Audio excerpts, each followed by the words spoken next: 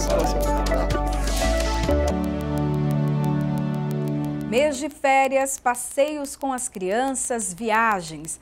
Mas as grávidas podem acompanhar esse ritmo e se aventurar por aí? É sobre isso que vamos conversar hoje no programa Em Discussão. E eu recebo a doutora Naira Scartesini Sena, que é ginecologista e obstetra, e também Marina Gomes Mestieri, que é nutricionista. Sejam bem-vindas aqui à TV Alesp. Obrigada, Priscila. Para começar, Obrigada. a grávida está liberada para viajar? Claro, rodinha nos pés, vamos aproveitar as férias, está liberada sim, a menos que ela tenha algum diagnóstico que demande repouso e daí ela fique afastada das possibilidades de passeios. Qualquer tipo de viagem? Uh, quando a gente precisa de repouso, geralmente é um risco de parto prematuro ou, uh, enfim, qualquer risco associado ou um risco de trombose maior, ela não pode ficar imóvel por muito tempo sentada no carro ou no trem ou no avião. Então, daí o obstetra em específico vai analisar e vai pontuar esse caso. Caso contrário, ela pode viajar. É importante que ela converse com a obstetra para entender quais são os cuidados que ela tem que ter. Então, antes de viajar, marque então uma consulta ali com a obstetra. Sempre, até porque se forem viagens aéreas, as companhias aéreas pedem uma carta de liberação da médica. Uhum. Então, para grávidas aparentes, né? As grávidas muito recentes, às vezes a companhia aérea não sabe, mas é mais seguro que ela leve esse documento para não ter nenhum problema no embarque. E no caso da nutrição, a grávida precisa também procurar sua nutricionista antes de fazer uma viagem, pegar ali várias dicas? É, a gente procura orientar o equilíbrio, né? Tudo pode. Uma, uma grávida é, que esteja sem nenhuma patologia, como a doutora falou, sem problema de diabetes, hipertensão, a gente acaba liberando, mas a, o equilíbrio, o bom senso é que entra nas férias, né? Uhum. Os cuidados com a alimentação nesse caso, porque as viagens são uh, praia, o campo? Quais são uhum. os cuidados?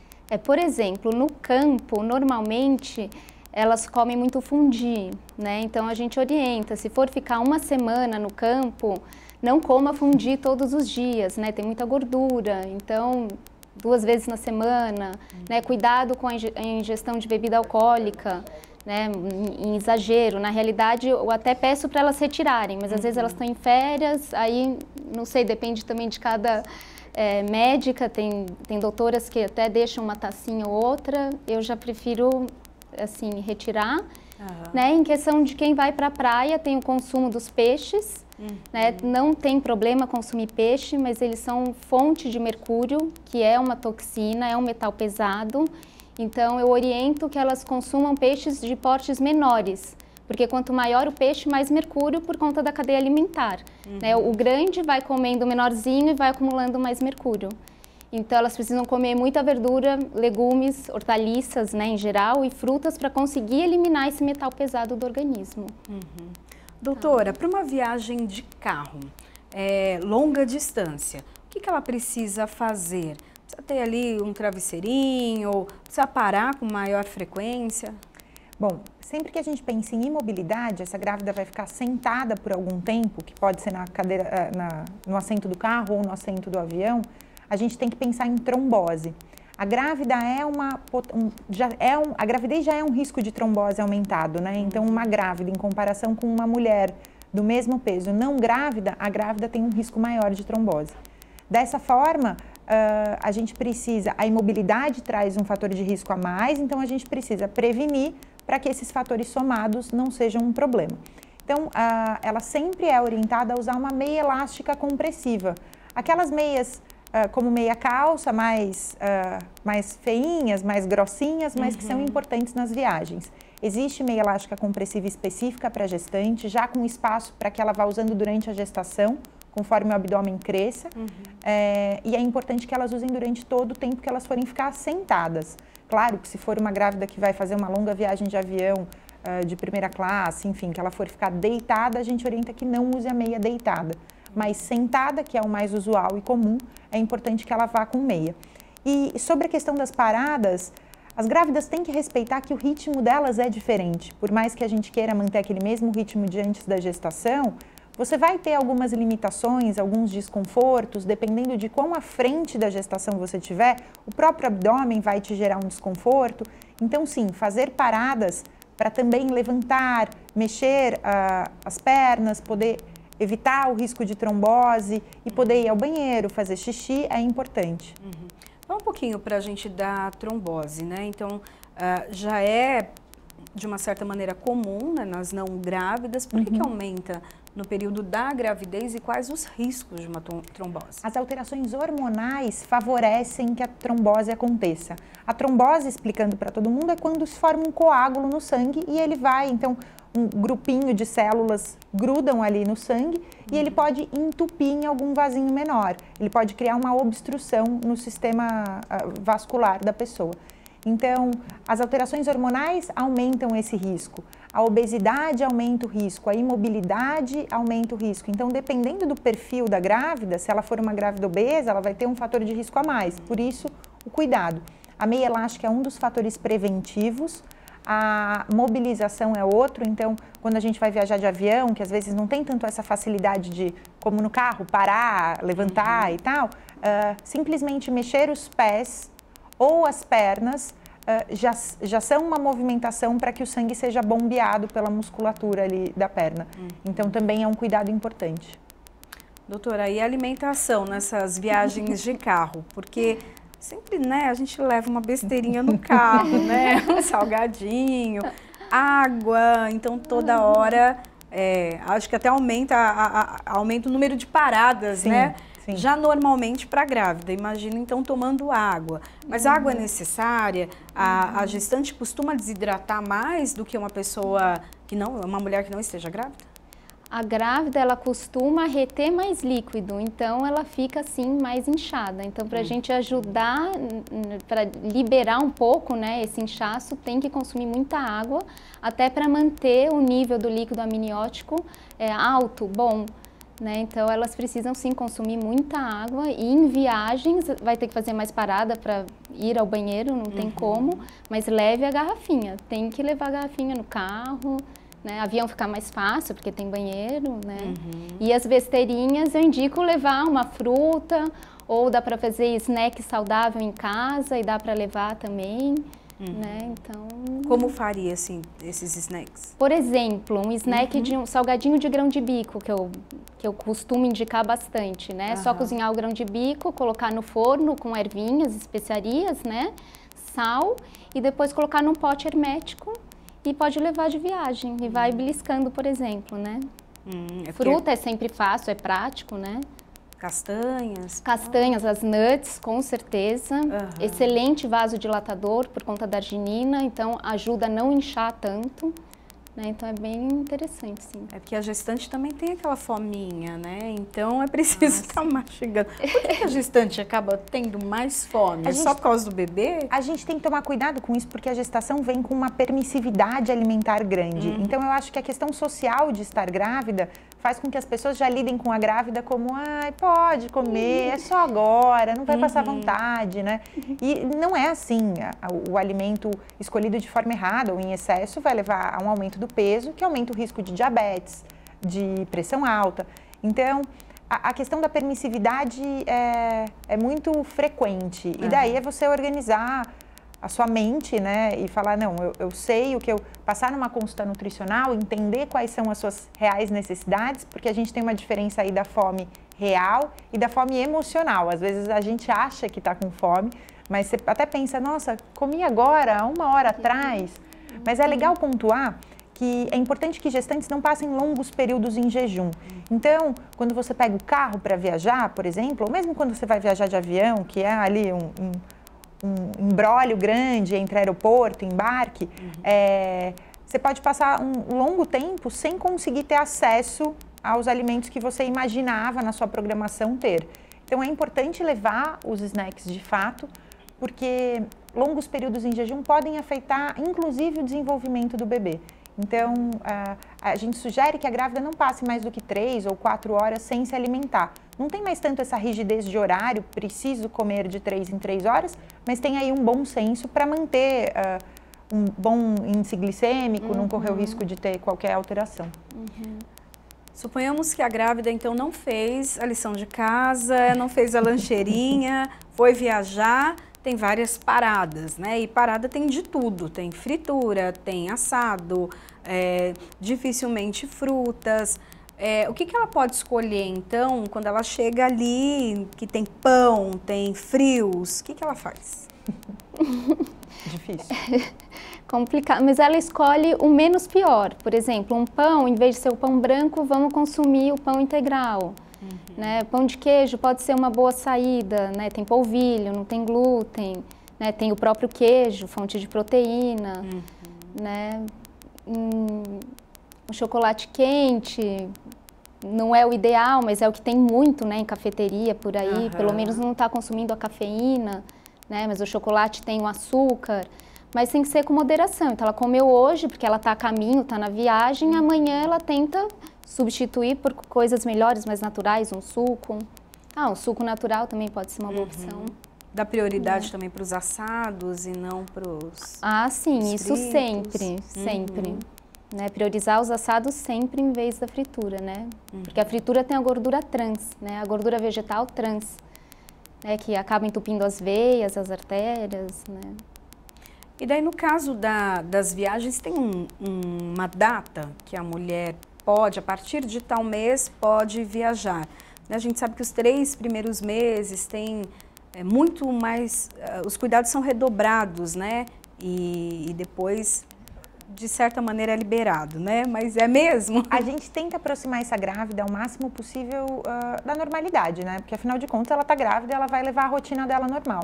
Uhum. Então, se ela não tiver nenhum diagnóstico diferente, ah, eu, uh, enfim, tive um descolamento de placenta ou tive qualquer infecção genital que me inspire cuidados, enfim, se ela não tiver nada disso, ela pode e deve viajar quando ela quiser, sempre se comunicando com a obstetra para ter a orientação adequada para aquele destino que ela vai. Uhum. É, então, o, o maior a, o calcanhar de Aquiles é, são as viagens aéreas, porque as companhias aéreas pedem, é, cada companhia tem, existe um, um regime para todas, mas cada companhia tem a sua particularidade e elas pedem que essa grávida viaje até um limite específico. A partir daí, nem com carta elas autorizam. Hum. Uh, e daí a gente tem que pensar no conforto também, né?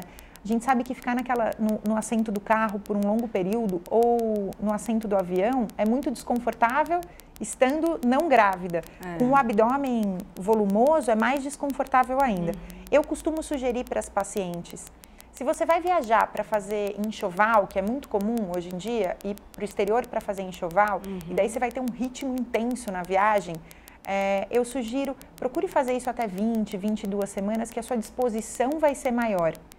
É, não que seja proibido depois disso, é só uma uhum, sugestão. Uhum. E se você vai viajar, a, enfim, a passeio, por lazer, e daí em, em, geral podem ser destinos mais curtos, que não envolvam voos ou jornadas de carro muito longas, aí você pode pensar até 26, 28 semanas sem problema, não uhum. vai ser tão desconfortável.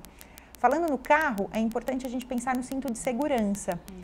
É, hoje em dia todos os carros têm cinto de três Sim. pontos, isso é, é legislação, mas a gente não pode deixar a faixa do cinto atravessada sobre o abdômen. Então a gente peça para que ela, pede para que ela direcione a faixa um pouquinho para cima, porque no caso de um acidente ou de um impacto, isso, uh, claro, gera um impacto no útero, mas uhum. não diretamente atravessado sobre o útero. Então, Sim. esse posicionamento também faz diferença. O cinto acaba segurando mais o peito e não.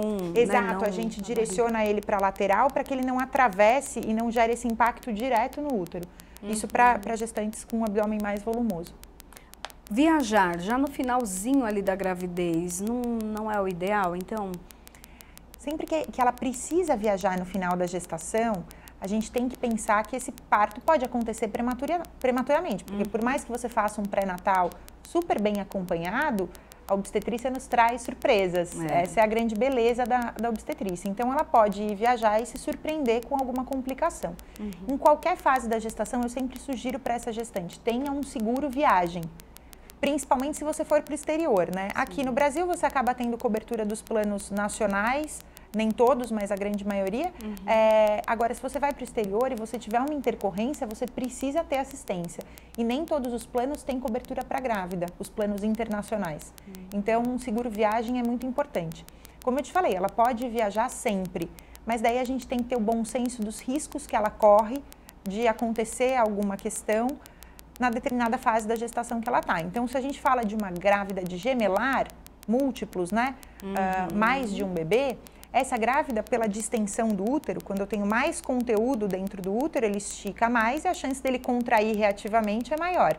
Então, é uma grávida potencial com risco de entrar em trabalho de parto antes das 37 semanas, que é o usual. Então, essa gestante, eu já tenho que ficar de olho ao redor das 34, 35 semanas e sugerir que ela não viaje, porque ela pode se surpreender com, com alguma intercorrência fora. Uhum.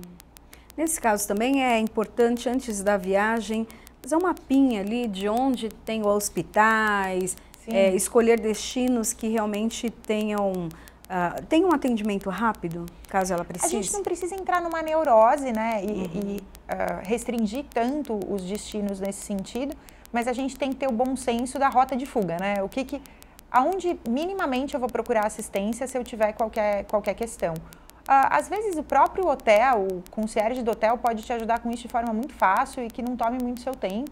E, e talvez dessa forma ela vá mais segura. Ah, eu vou para esse lugar e se eu tiver qualquer necessidade, eu procuro assistência aqui. Perfeito.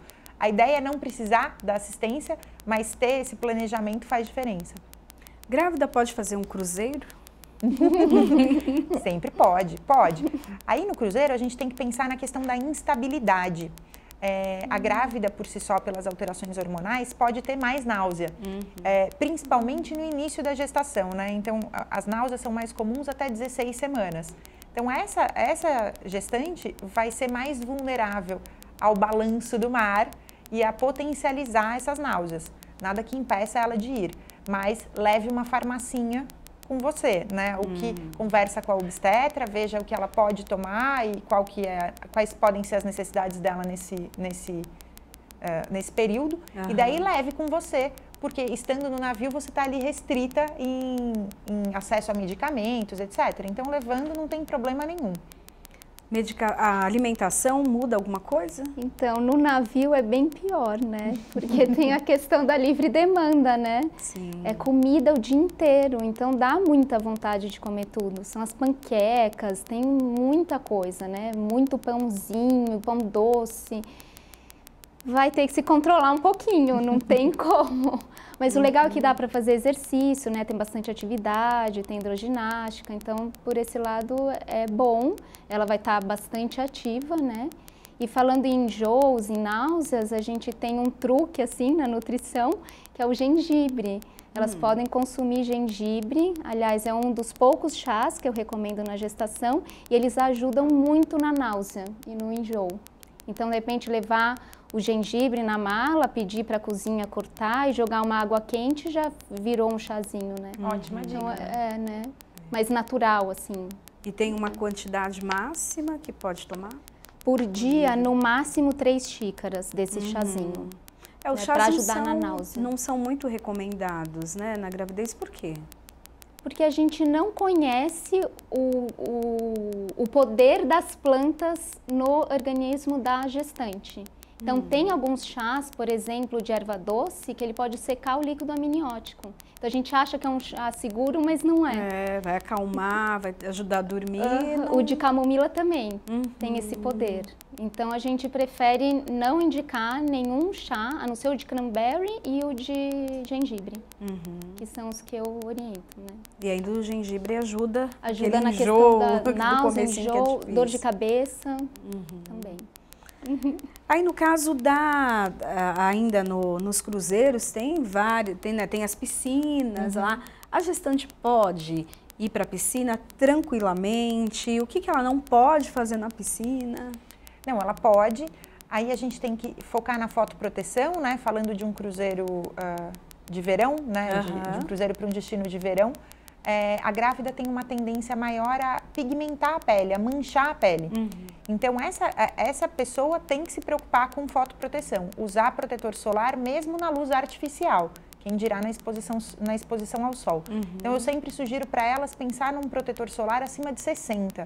Porque tem muita gente que gosta de pegar uma cor na exposição uhum. ao sol, mas isso é um risco de manchas definitivas na pele. Uhum. Então, proteção solar sempre. É... As manchas só no rosto ou ela pode também aparecer em outras partes do corpo? A, a hiperpigmentação acontece no corpo todo, tanto que algumas grávidas desenvolvem uma linha no abdômen. Uhum. É, essa linha não acontece pela exposição solar, acontece pelas alterações hormonais, mas é só uma amostra de como o pigmento fica mais ativo durante a gestação. Certo. Então, é mais comum que essas manchas aparecem na área, em áreas de maior exposição solar, no rosto, no colo, nos braços, mas é importante que ela use protetor solar em todo o corpo.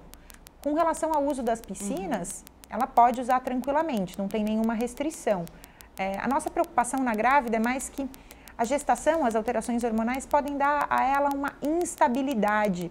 Porque o que acontece? Uh, as alterações hormonais favorecem que amoleça as cartilagenzinhas entre as vértebras da coluna, uh, a, afrouxem mais os tendões musculares, justamente para que ela faça uma adaptação do esqueleto. Ela aumenta a curvatura lombar, porque senão, quando a barriga crescesse, toda a gravidinha ia cair para frente. É. Ela precisa aumentar a curvatura lombar para mudar o eixo de gravidade. Certo. E para andar como um patinho, mas continuar bem.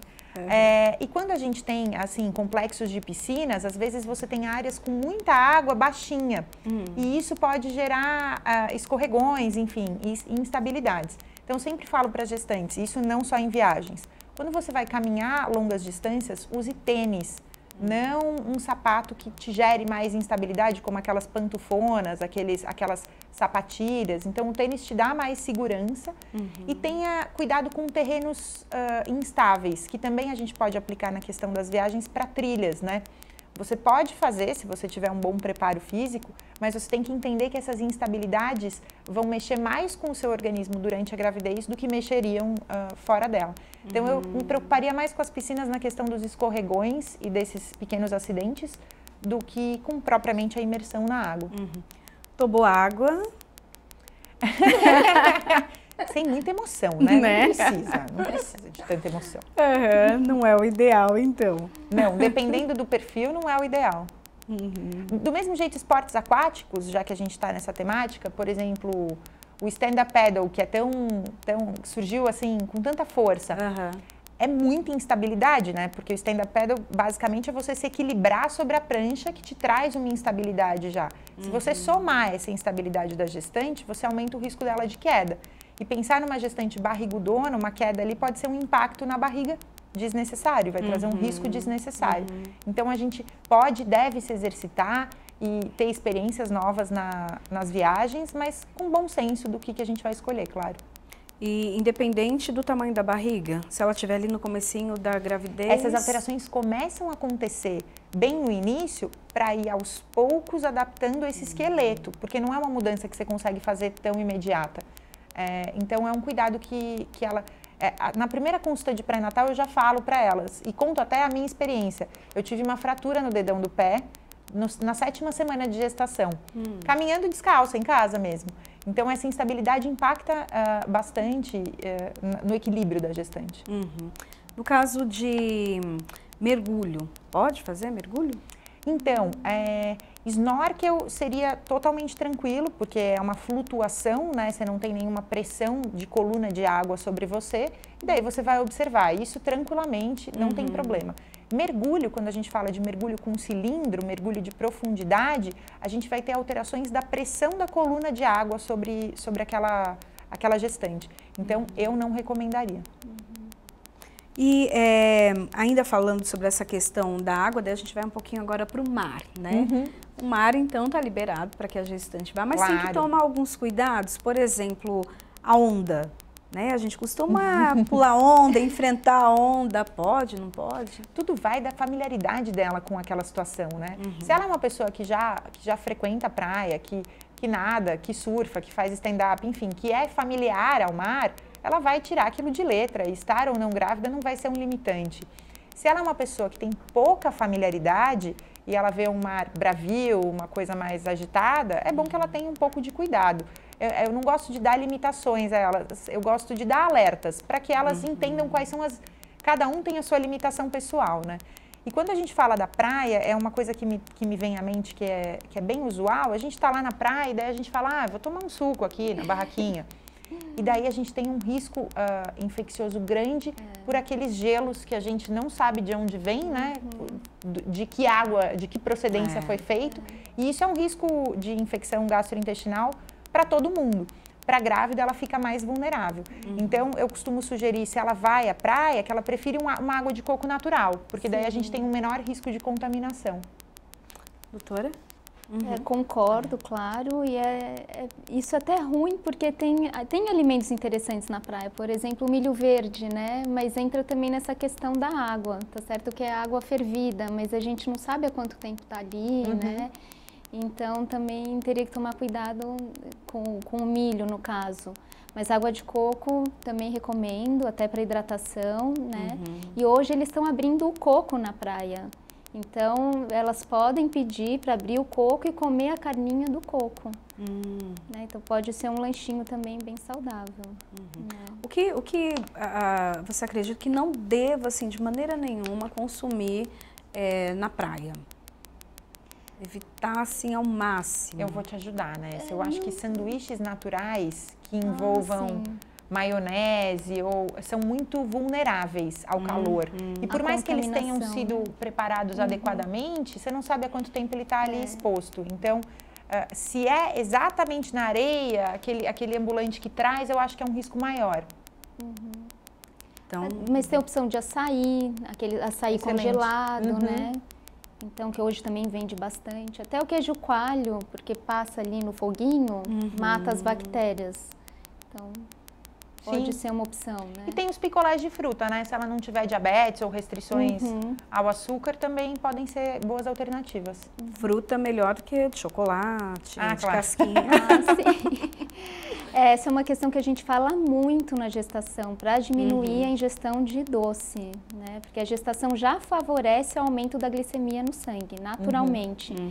E a gestante comer muito açúcar vai piorar isso e muito, né? Então a gente já conversa muito sobre essa questão de não precisar ingerir tanto doce. Quanto mais açúcar você come, mais açúcar você quer. Uhum. Principalmente na gestação, que é uma fase muito ansiosa da mulher, né? Então ela cada vez procura por mais doce.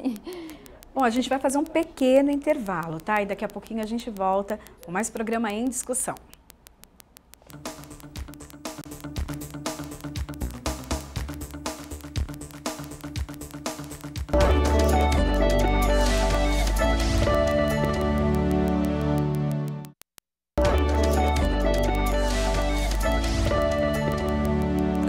Estamos de volta com o programa em discussão. O assunto de hoje é grávidas em férias. Bom, doutora, a gente falava então no bloco anterior da praia, né? A grávida na praia, grávidas, vocês estão liberadas então para ir à praia, contanto que sigam aqui as dicas da doutora e também da nutricionista. Bom, é, às vezes vai para a praia e fica o dia inteiro lá, né? Ou um longo período. Tem a questão do biquíni, né? Para a mulher, no geral, já é uma coisa complicada ficar com o biquíni molhado. Eu queria que a senhora falasse, para a gestante, é pior? É, a, bom, durante a gravidez, metade da, da informação genética que está crescendo dentro da gente pertence ao parceiro, não a nós. Uhum. Então, a imunidade da grávida fica, de fato, mais fragilizada durante a gestação. Isso é natural, acontece com todas as grávidas, para permitir que aquelas células do bebê se desenvolvam, porque senão ela ia combater aquela célula com material genético estranho a ela. Então, grávidas são mais suscetíveis a infecções oportunistas, por isso grávida é foco para vacinação da gripe, grávida pode ter mais infecção urinária e pode ter mais corrimento também. A gravidez por si só também traz uma alteração da secreção vaginal. Então é normal que toda mulher saudável tenha um pouquinho de secreção vaginal que vai se exteriorizar pela calcinha, mas não vai gerar sintoma, não vai dar coceira, não vai doer, não vai ter uhum. cheiro forte, nada disso. Durante a gravidez, o corpo aumenta essa produção. É como se ele estivesse defendendo o bebê que está dentro do útero. Pensando que quando a gente está de pé, essa secreção escorre, eu brinco com as pacientes que eu estou aumentando a água da cachoeira para o rapel da bactéria. Ela é. tem dificuldade, mais dificuldade para subir se eu aumento a quantidade de secreção escorrendo pela vagina. Então, a gravidez aumenta a quantidade de secreção normal, fisiológica. Uhum. E esse cenário, que secreção é comida para a bactéria, quando a gente coloca num ambiente quente da praia e abafado, porque a roupa, a roupa de banho não permite tanta transpiração, com umidade, é um prato feito para infecções oportunistas, tanto a candidíase quanto infecções bacterianas. Uhum. É, isso é um cuidado que toda mulher tem que ter na praia, que é tentar não ficar longas horas, longos períodos com a roupa de banho molhada, o maiô, uhum. o biquíni molhado. Mas a grávida tem que ter essa, essa delicadeza de levar, então, se você for fazer um passeio de barco ou se você for ficar um longo período na praia, leva um biquíni de reserva, troca ali no, no banheiro do, do restaurante ou do bar que tem por ali, para que você não fique todo esse tempo. Uhum.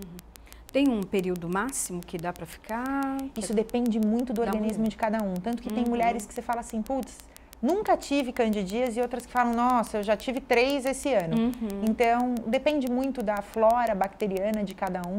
Se ela conseguir aí, uh, se ela for passar o dia inteiro na praia, pelo menos na hora do almoço, trocar o biquíni, já é uma grande vitória. Uhum. É, a candidíase, ela é também é, perigosa para o bebê?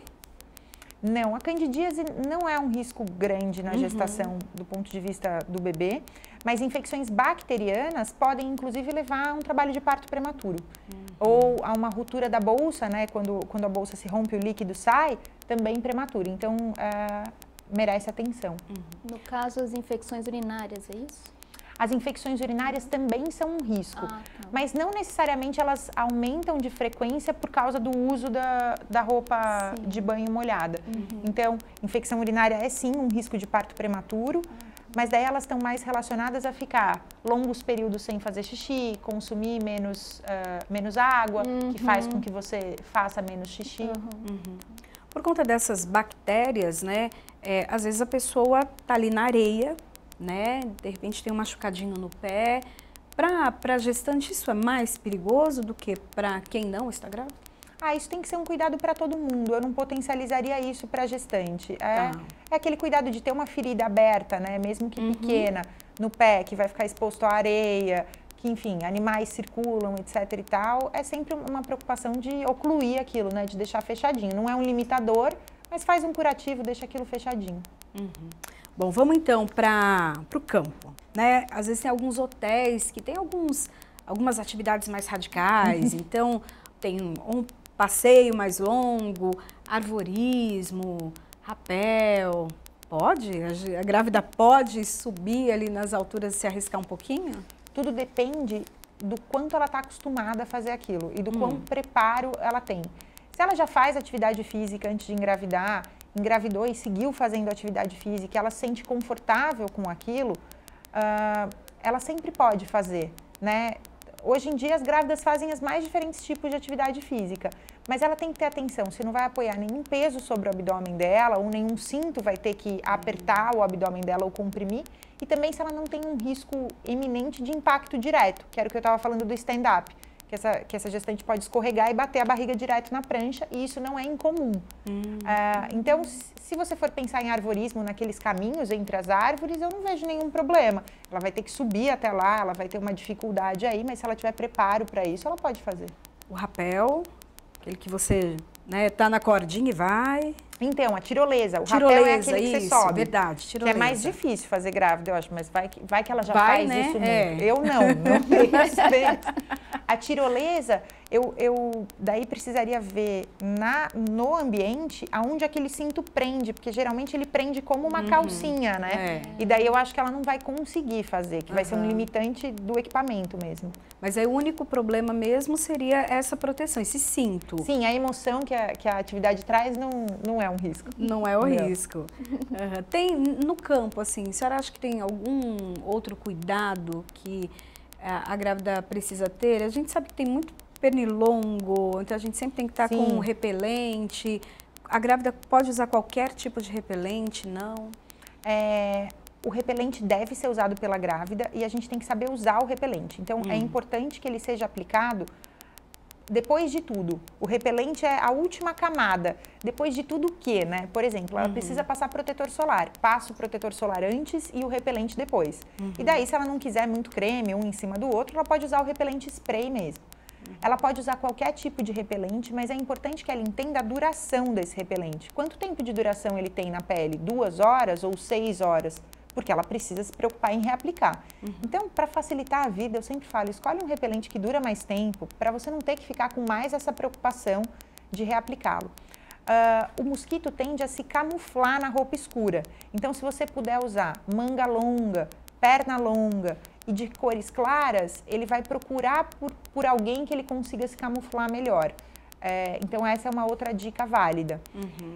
E hotel de campo sempre tem muita comida, né? Assim, é sempre aquele balcão é. de bolo, aquela coisa enorme.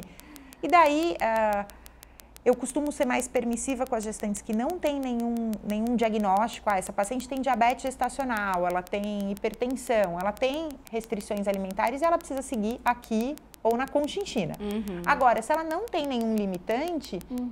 eu até permito que ela, que ela se esbalde um pouquinho mais, mas com, com uma certa noção. Então, se ela vai comer um pouco mais no almoço, que seja mais centrada uhum. na dieta.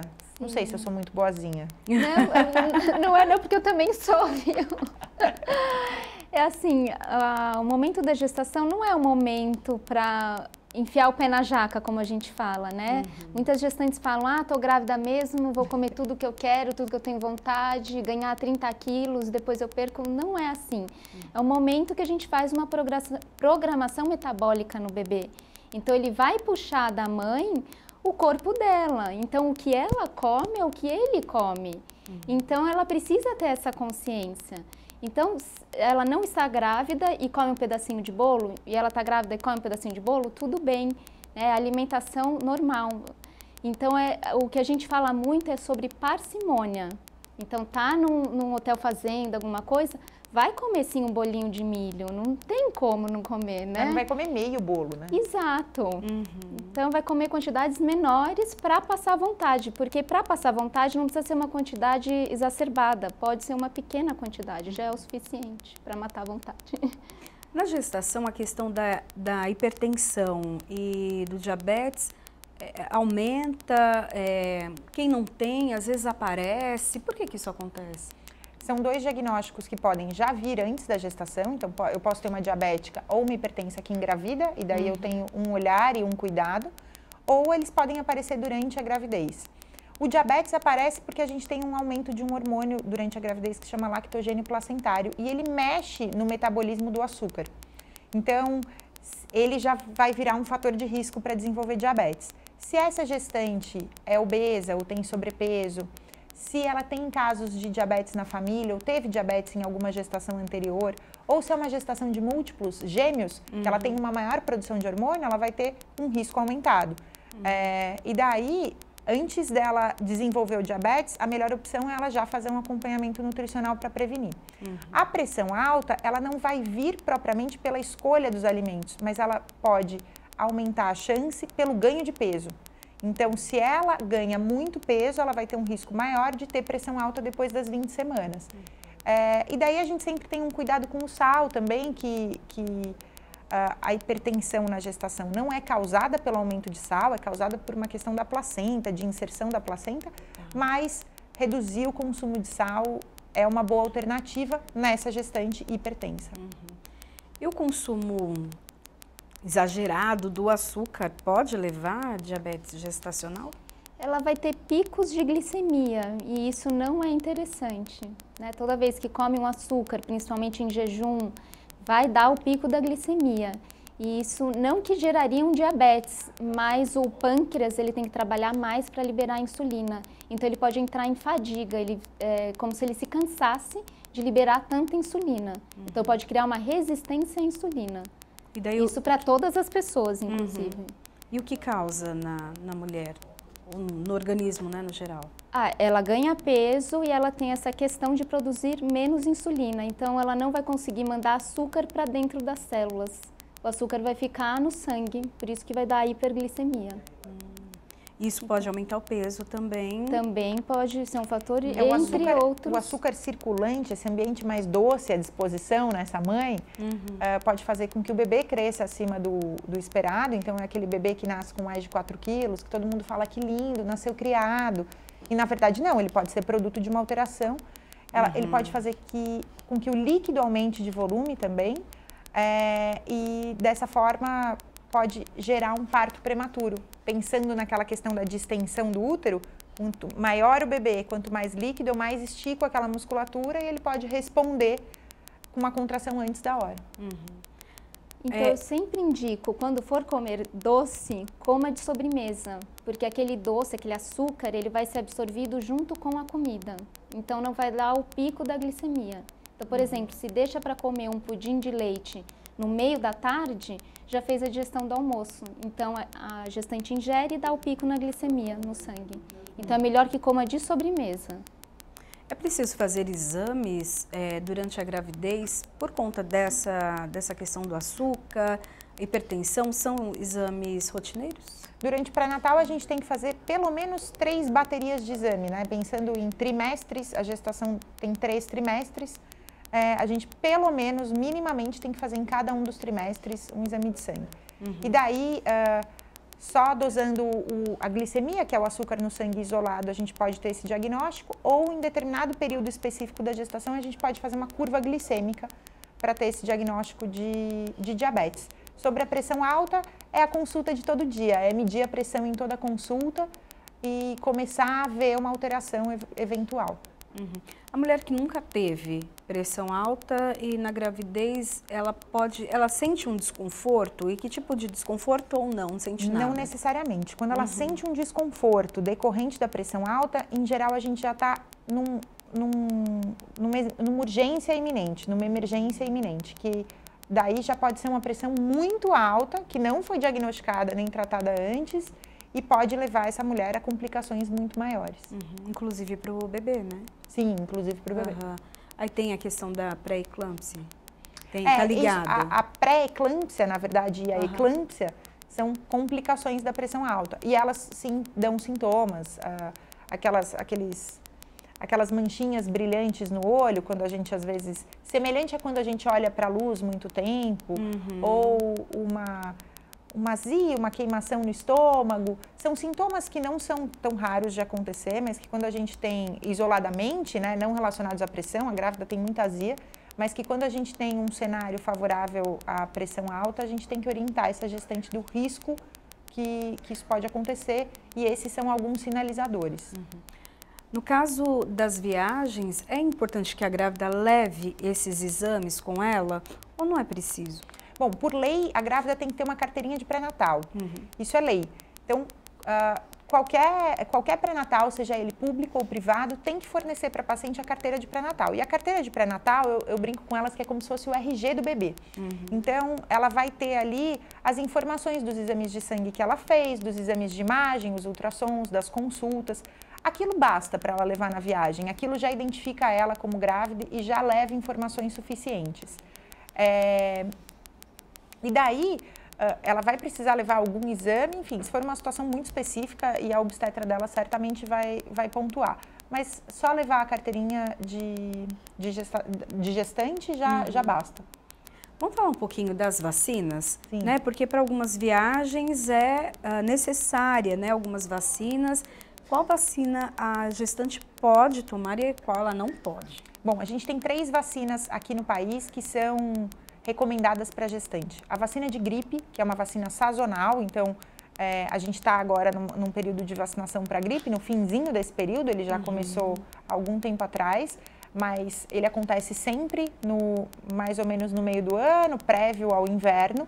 E a vacina de gripe é recomendada para todas as gestantes, independente se ela vai viajar ou não. Uhum. A vacina de hepatite B, que também é recomendada para gestantes. Isso, inclusive, é uma preocupação quando a, quando a mulher sinaliza que ela quer engravidar, a gente já pesquisa isso e já tenta vaciná-la antes. Não porque a vacina durante a gestação seja um problema, mas porque ela ter esses anticorpos no corpo uh, durante a gestação é uma chance maior dela passar eles para o bebê. Uhum. É, e daí a gente vai ter também a vacina que chama DTPA, difteria, tétano, coqueluche acelular, que, que é a vacina para gestante e, segundo o Ministério da Saúde atualmente, em todas as gestações ela tem que receber, independente de há quanto tempo atrás ela, ela recebeu. Ah, eu tive um filho há dois anos atrás, tomei a vacina. Uhum. Tem que tomar de novo? Tem que tomar de novo.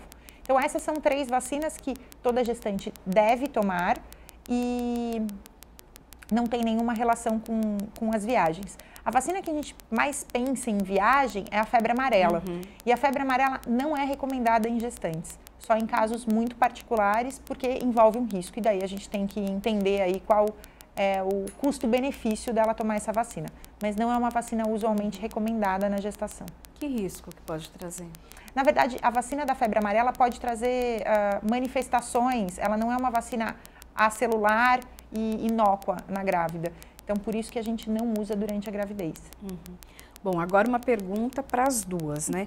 O que não pode faltar de jeito nenhum, então, na mala da gestante, né? Como que essa mala precisa ser preparada? Vou falar da parte que não envolve comida. É, começando pelo básico, essa mala tem que ter rodinha. Ela não pode ter que carregar essa mala. Ou ela tem que ter um marido maravilhoso que carrega a mala para ela. Uhum. Porque... Só que daí também ela tem que ser boazinha, né? Vai encher a mala de coisa. Porque esse, esse peso pode uhum. gerar dores justamente por causa daquelas alterações ortopédicas que a gente falou. Uhum. Então, uma mala de rodinha e dentro das, das possibilidades de carregar de peso. É, além disso, eu sempre sugiro que ela leve, além da carteira de gestação, que a gente falou, da carteirinha, que ela leve uh, uma pequena farmacinha. Ela não pode esquecer que os polivitamínicos que ela já toma, ela tem que continuar tomando durante a viagem, ela tem que levá-los. Que o creme anti-estrias que ela já usa, ela tem que continuar usando durante, durante a viagem. E daí eu sugiro sempre que ela leve um antitérmico que ela possa tomar, um analgésico, uh, uma medicação para náusea, uma medicação para azia, para gases, enfim, que faça uma mini farmacinha, porque é melhor você levar aquilo, não mexer e trazer igual, do que você precisar e não ter. Uhum. É, e daí, repelente, dependendo do destino, protetor solar para todos os destinos, porque a luz artificial também é um problema, uhum. e muita disposição. O repelente, ele é o comum ou precisa ser aquele repelente especial? Não, qualquer repelente ela pode usar, mas daí vamos lembrar sempre do tempo de duração do repelente para não ter tanto trabalho, para ter que repassar a cada duas horas. Uhum. E aí na bolsinha, então, da gestante, o que, que não pode faltar de comida? Pois é, eu oriento sempre a seguir o plano alimentar que ela está habituada, não tentar, assim, não sair muito, tentar ficar naquele plano alimentar. Então, café da manhã, né, se for em hotel, sempre ter uma fruta, né, uma, uma fonte de proteína, um carboidrato uhum. complexo, que é com fibras, né? Tentar não sair muito dessa rotina. No almoço, não comer grandes quantidades, manter a quantidade que ela come em casa.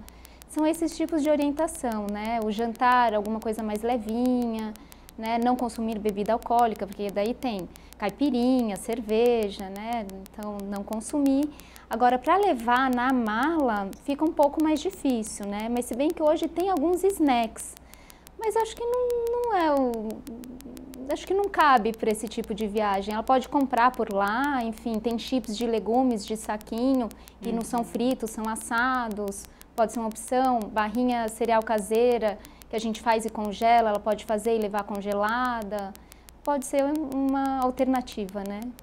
Bom, então, para a gente concluir aqui nosso programa, doutora, quais são as suas dicas, então, né? A senhora já falou da mala, mas tem alguma outra dica que a senhora quer dar? Claro, seguindo esse resumão, Uh, não esquecer a meia elástica compressiva uhum. para ida e para volta e para as gestantes que vão fazer enxoval, então elas vão ficar longos períodos em pé, caminhando pelas lojas, use a meia compressiva também durante o dia. Uhum. Inclusive eu, eu sugiro para elas, se vai fazer enxoval, tente já pesquisar as coisas antes, já, já compre algumas coisas para serem entregues, para que isso não seja tão desgastante. Uhum.